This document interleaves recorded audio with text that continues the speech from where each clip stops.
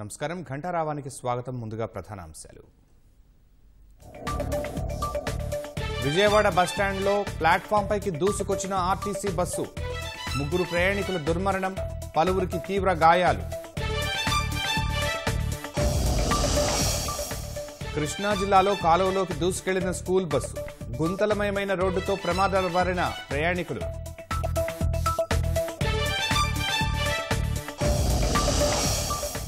రాజస్థాన్లో వంతెనపై నుంచి రైల్వే ట్రాక్పై పడిన బస్సు ప్రమాదంలో నలుగురు దుర్మరణం.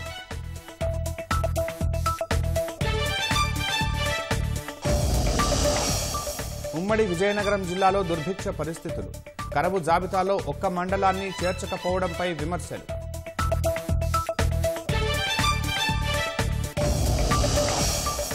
గాజాపై ఆగని ఇజ్రాయెల్ దాడులు. బందీలు విడుదలయ్యేంత వరకు కొనసాగుతాయని స్పష్టీకరణ.